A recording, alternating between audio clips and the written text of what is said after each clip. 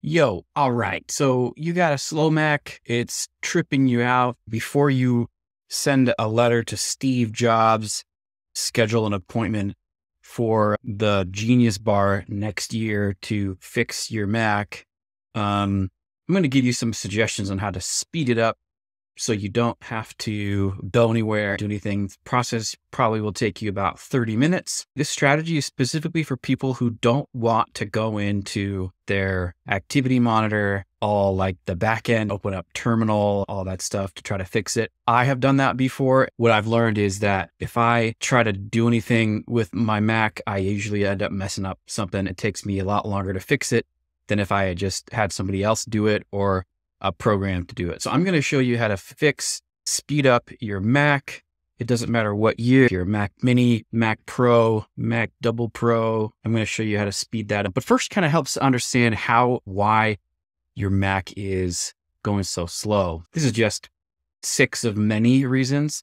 It could be you have too many background processes. It could be you have a full hard drive. You might have Mac is known for their their visual effects. That does take up a RAM. Uh, you might be running on an outdated Mac OS. You might have some malware.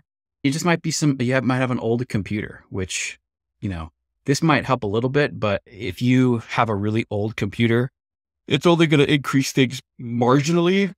So what I'm going to show you today is how to, to fix that. So if you're someone who likes to go into the terminal activity monitor, check the speed of everything, um, this probably isn't going to be for you.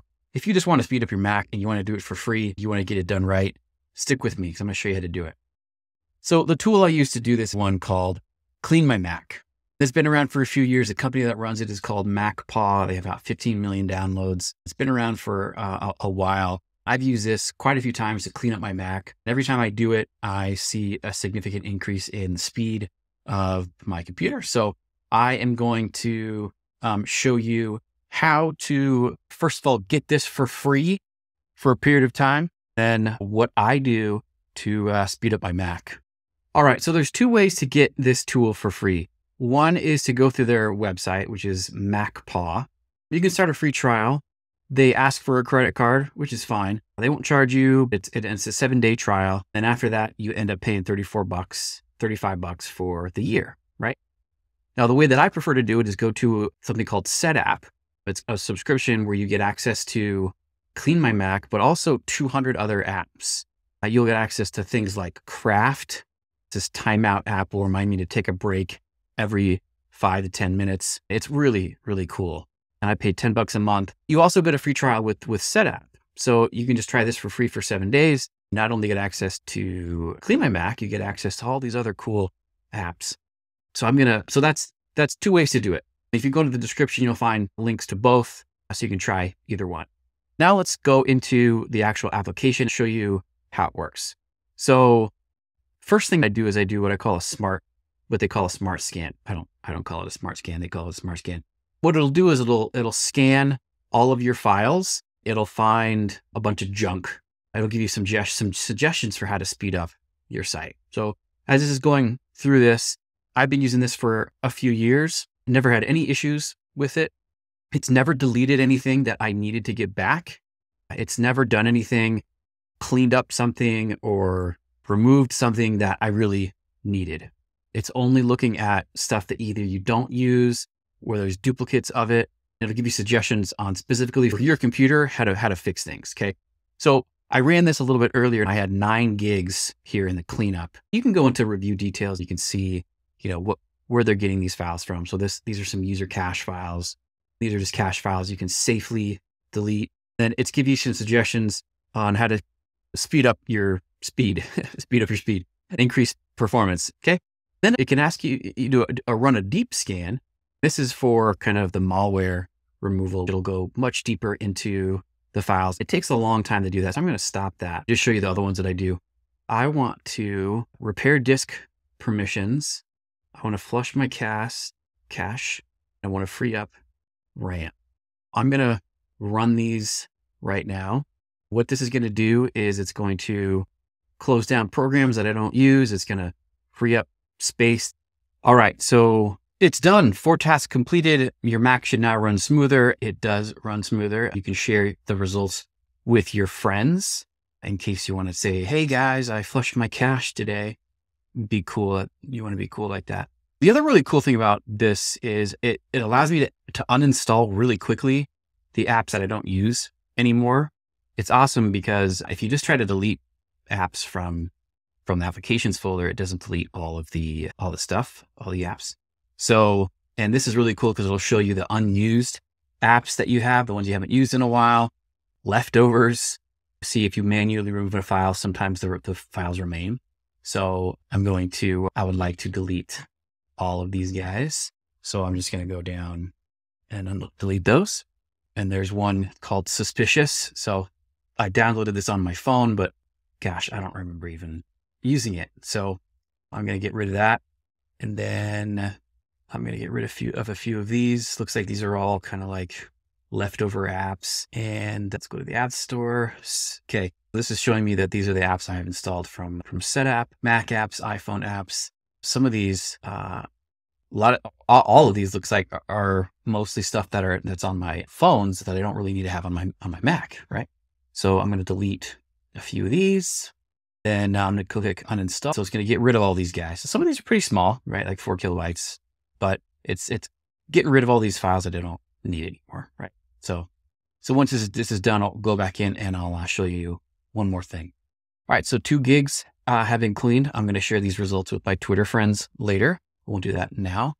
And then this is great. It'll, this is really cool. It just, it just allows you to update apps that you haven't updated yet. I'm not going to do that right now. Again, you, you can do this through the App Store, but this is just makes it really easy to do. Okay. I don't know what this iBooks Spotlight thing is. I'm going to delete that. See, there's no way I would have been able to find this without this, this app here. Space Lens is cool. It shows you where all of your storage is, is going. So it's like what's taking up the most space. You can actually go in and investigate it. It's really cool. And I don't know if I'm Let's see if I can build this map pretty easy and show you what it looks like. All right, so here's the space lens. Um, you can see where all of my space is being taken up. And you can dive into this, these folders to find out where all the space is, delete stuff. So I'm going to go into my shared folder and, oh, here we go. So Epic Games, my Fortnite, it's taking up 92 gigs. I don't want to delete that. My son would get really mad. So I'm going to go back, look at all this other stuff here. Some of this, this is really small. So I'm not really, I don't really care about that. Let's go into my library here. So we have the library downloads. Okay. Let's go to downloads. Okay. What is this? All right. There you go. So I have all these videos here.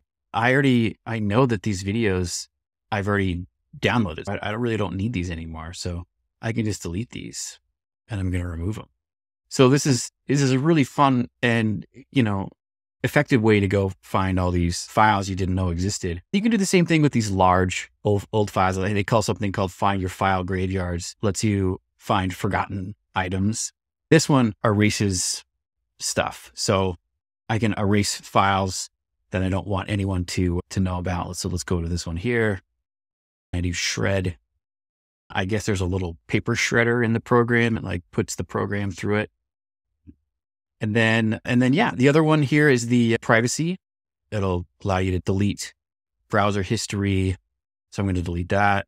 Let's go to Safari. I kind of want to delete that. I don't want people looking at my cookies. I want those cookies for myself. And there you go. So it has this, this uh, little icon up here. So if you get rid of it, it's running in the background right here. And then it shows me really quick, like how much available memory do I have, where my battery is at, my CPU temperature, load. It shows me what the, the wi- Wi-Fi speed is connected devices. Just a really cool as like a, a quick, quick view of just like what's going on. Right. So, all right, it's time to free up some memory. Looks like Arc is taking up a lot of space. I'm going to quit that. I quit Notion. I actually don't need Spark Mail right now. I don't need texts. I'm going to quit those. Spotify. It's a really easy way to do this. Obviously, there are plenty of ways to speed up your Mac. Uh, this is just what I found to be the, one of the easiest ways to do it. So got them links for you down below where you can give that a shot. Get that for free, run it for seven days, see if it makes a difference. If it does, great. If not, you're not really out anything. So hopefully this was helpful for you. We'll catch you later.